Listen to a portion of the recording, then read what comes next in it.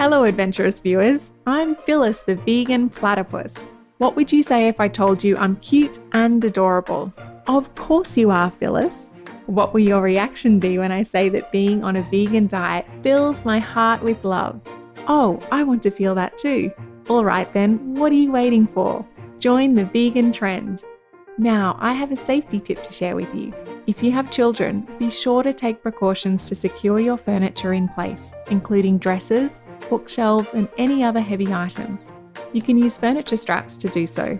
Please do not place a TV on top of the dresser as children may use the drawers for climbing.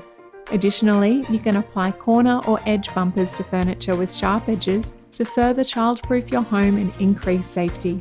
Thank you for your attention and love you a lot for being veg and going green to save the planet for all of us humans and all co inhabitants alike. Our programs offer many languages. Please visit suprememastertv.com forward slash schedule and suprememastertv.com forward slash NWN.